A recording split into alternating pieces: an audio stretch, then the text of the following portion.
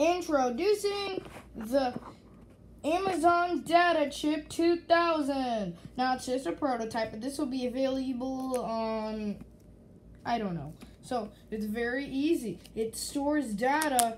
It can. It has two modes: transport and take. If it's on take mode, it will take data off of a computer until there's no data on the computer.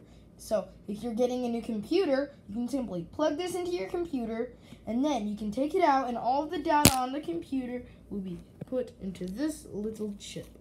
And then if you get a new computer, you can put it on, I forgot what it is, but we'll just call it a download mode or something.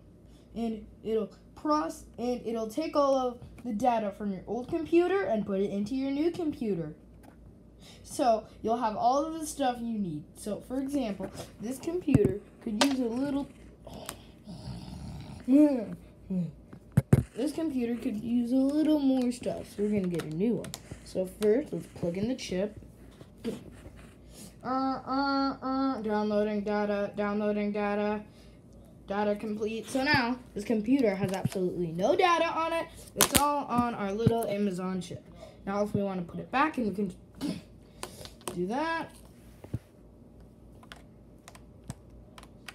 Then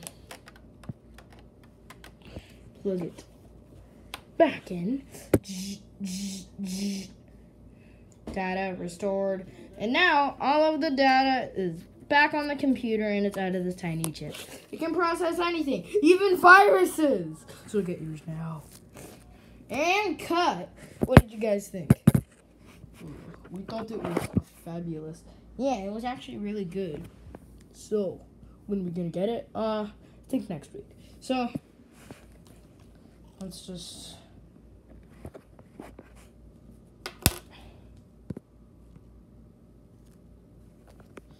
Just and just get this back in the computer.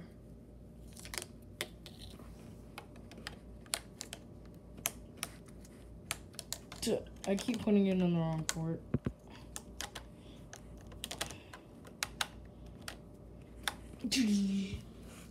No, alright, we're gonna leave. Alright, alright.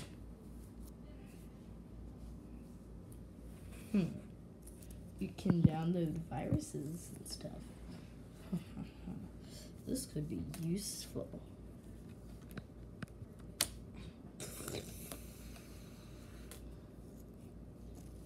To